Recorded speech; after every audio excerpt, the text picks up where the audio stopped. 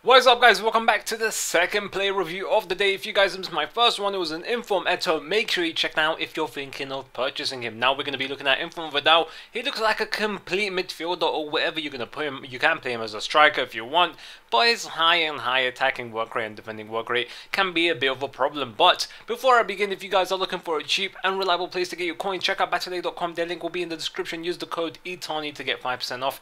Now, Inform Vidal, I played him as a centre attacker midfielder because look at his dribbling. Look at his pace. He has everything you actually need for a center attack in mid. And I've asked you guys on numerous videos, what do you want your center attack in mid to be good at? Some people say mid, uh, like they want him to have good dribbling, they want him to have good shot. They don't care about his pace. Some people care about the pace. So it really comes down to what you want from Inform Vidal because you can experiment with him in numerous positions. You can try him out as a central defensive midfielder.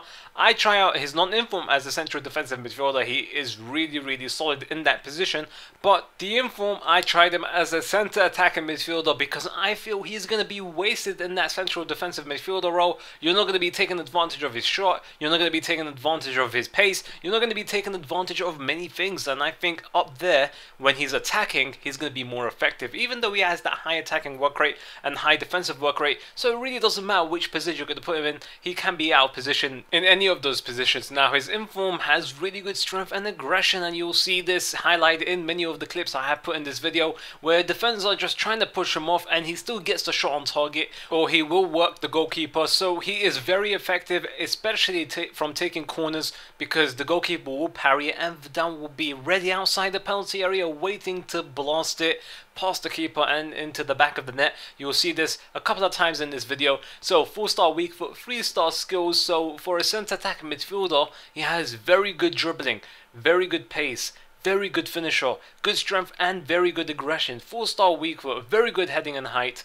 really good finesse shots, very good shot power and long shots. The only thing is, if you like the skill, he has 3 star skills, so if you like your centre attacker midfielder to have over that, then you won't really like him. But for a centre attack attacker midfielder, Vidal is very, very good. He is out of position sometimes, but it happens on a rare occasion when he's out of position in that, you know, centre attacker midfielder role. Don't try him out as a striker. I felt he was way too out of position most of the time, so you can't really play him as a striker. Even his, um, even though his stats are really awesome, but I couldn't because like Alves, he has high attacking and low defending. This guy is just way to our position. So I hope you guys enjoyed this review. If you did, I'd really appreciate a like. Now, if you purchased Inform Vidal, let me know in the comment section below which position you would play him in. And also, guys, don't forget to drop a comment in the comment section below. Let me know who you want me to review from the new team of the week because there is a lot of awesome players I really want to try out and let you know my opinion on. So I hope you guys enjoyed this review. If you did, please give it a thumbs up and I hope you guys have a very nice day.